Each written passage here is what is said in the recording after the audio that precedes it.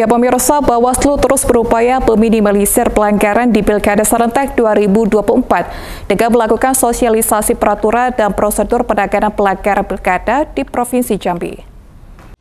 Badan Pengawas Pemilu atau Bawaslu Provinsi Jambi terus berupaya meminimalisir potensi pelanggaran saat Pilkada Serentak 2024 mendatang.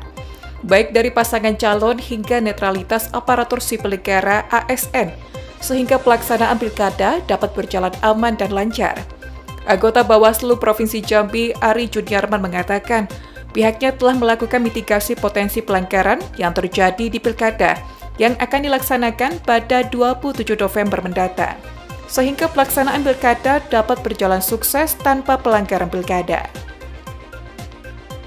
Dan pilkada serentak ini tentu ini menjadi pengalaman pertama di Indonesia yang mana gubernur wali kotanya dipilih secara serentak.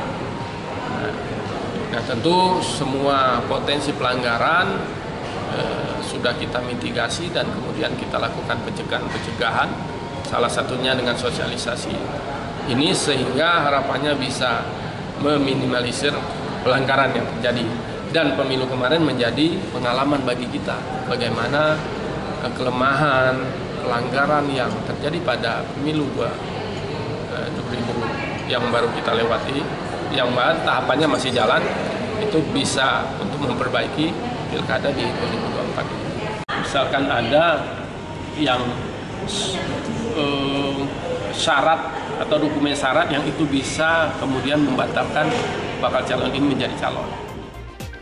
Pelaksanaan pemilu 14 Februari lalu menjadi catatan Bawaslu Provinsi Jambi sehingga diharapkan potensi pelanggaran saat pemilu tidak terjadi saat Pilkada serentak 2024 nanti. Rian Chen Chen, JEK TV melaporkan.